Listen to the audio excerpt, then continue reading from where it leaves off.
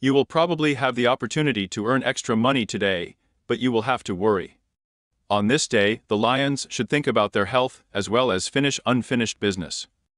The lions will have to actively address the difficulties at work and at home at the same time, which is fraught with overwork. Do not neglect restorative procedures. A cold shower in the morning is what you need. In the evening, do not pay attention to minor insults and do not show indifference towards your loved ones. Subscribe to the channel.